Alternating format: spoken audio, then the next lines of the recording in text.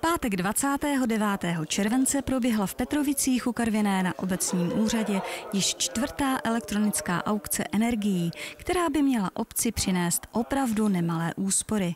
Centralizovaný nákup elektrické energie a zemního plynu prostřednictvím elektronických aukcí začala využívat obec jako jedna z prvních v Karvinském okrese již v roce 2011. Elektronickou aukci pro Petrovice uspořádala společnost Marandis. Jak probíhá elektronická aukce?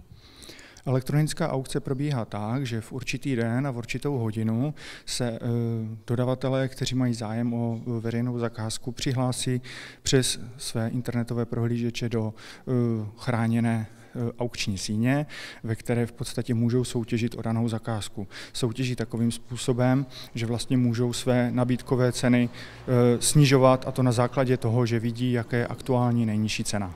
Kdo všechno se může elektronické aukce zúčastnit? Elektronické aukce se mohou zúčastnit dodavatelé, kteří mají licenci pro obchod s elektřinou nebo s plynem a ve chvíli, kdy jim přijde výzva od zadavatele, tak v podstatě můžou tuhletu výzvu využít a přihlásit se. Znamená to, že elektronická aukce je vhodná jenom pro velké firmy nebo se může dělat třeba na jiné téma, řekněme pro občany? No, elektronická aukce eh, se už několik let eh, dělá pro eh, velké, pro velké firmy, případně pro obce a města. Nicméně už asi čtyři roky probíhají elektronické aukce na energie také pro domácnosti a menší firmy. A proč jste vůbec přistoupili k pořádání elektronických aukcí? Tak tím cílem je jednoznačně úspora finančních prostředků, které můžeme potom využít samozřejmě pro jiné účely, v rámci naší obce.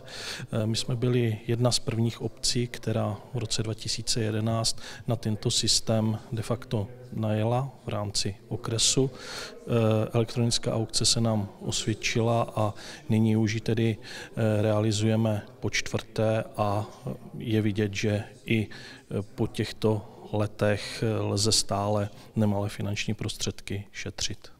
Aukce na dodavatele elektrické energie byla zahájena v 10 hodin a o hodinu později začala aukce druhá, tentokrát na dodavatele zemního plynu. Cílem elektronické aukce je dosažení co nejnižší ceny, tak aby obec zaplatila za zemní plyn a elektřinu v příštím roce co nejméně. Jak jste spokojený s výsledkem dnešní aukce?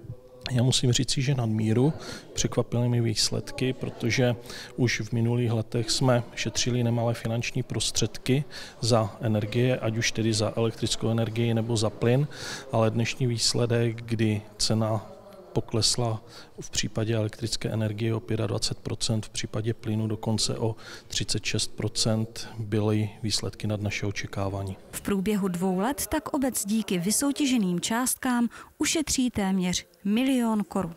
Z Petrovicu Karviné Daniela Pilařová a Eva Ilková. thank you